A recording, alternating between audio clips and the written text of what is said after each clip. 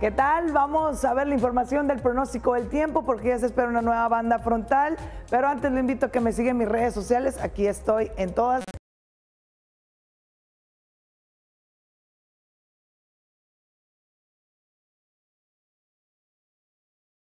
que aprovecho para recordarle que ya son de las últimas. espera que para esta temporada fueran entre 50 y 55 frentes fríos. Aquí estamos viendo que para el día de mañana estuvo afectando mayormente a la franja fronteriza ya el día de ayer.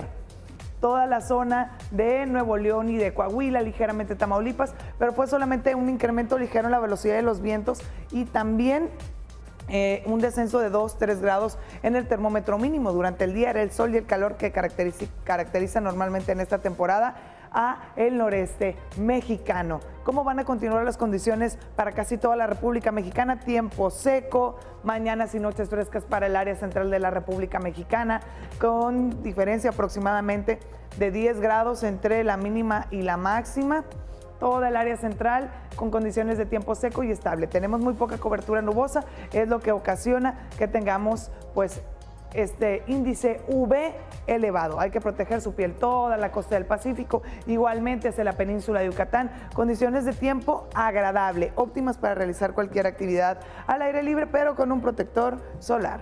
Tenemos a lo mejor la creencia de que solamente debemos proteger nuestra piel cuando vamos a la playa o a la alberca.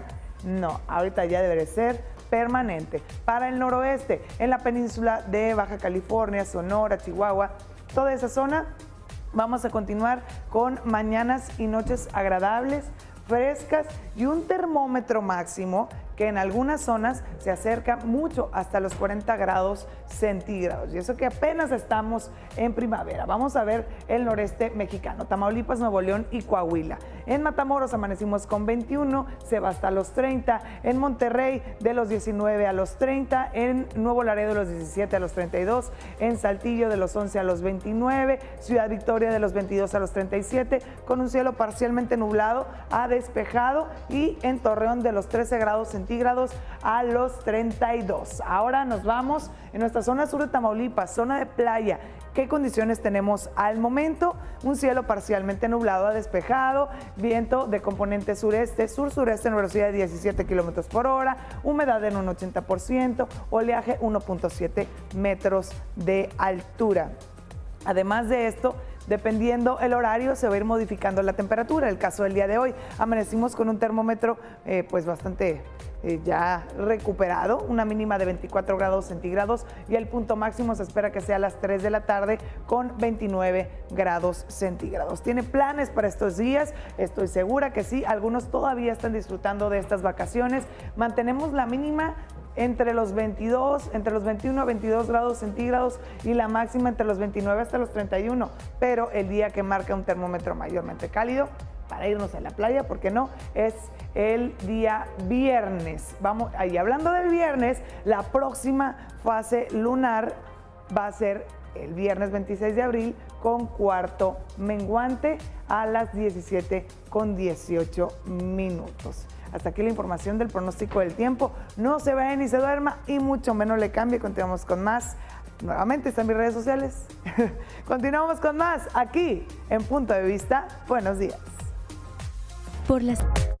Llévate la frescura y la calidad de la temporada los martes y miércoles de cosecha en Arteli. Y ahí te van unos ejemplos de las ofertas. Y tomate saladet, 7.90 el kilo. Zanahoria, 8.70 el kilo. Plátano tabasco, 9.90 el kilo. Chile serrano, 15.90 el kilo. Papaya maradol, 19.90 el kilo. Cebolla amarilla, 24.90 el kilo. Arteli, súper barato, súper fresco.